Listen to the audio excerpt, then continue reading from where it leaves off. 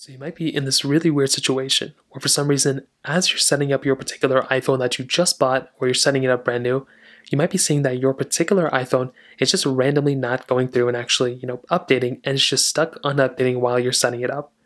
Now, the very first thing I'd recommend doing for the most part is just letting your iPhone update and download the software. A lot of the times I've run into this issue a lot throughout the last couple of years, and typically, whenever this happens, it's usually me just being antsy and me wanting to use my phone as fast as possible.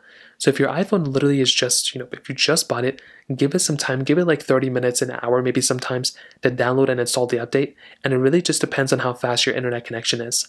If your internet connection is very, very slow, well, there's not really much you can do there. You're pretty much just going to have to wait it out so you can connect to a better Wi Fi signal if you want to. If not, you're pretty much just going to have to wait until it fixes the problem. Now, if you are still waiting and that's still not working and you're still stuck on this like iOS update that's still not updating and installing on your brand new iPhone, the next thing you can try doing is restarting your iPhone. So you can hold down those particular buttons to basically restart your particular device. So the volume up button and the power button. If that doesn't work, you can just hold down the power button itself. And you want to see if that ends up working once you power back on. Go through the initial setup once again, and that could very well end up fixing the problem again for you. Again, it's not a guarantee. That's another thing you can try doing and for the most part, that's probably what I'd recommend doing as well.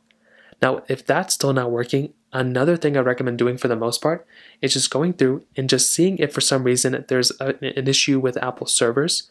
So you can go on your PC or your laptop or whatever and type in basically downdetector.com or is it downrightnow.com, those types of websites.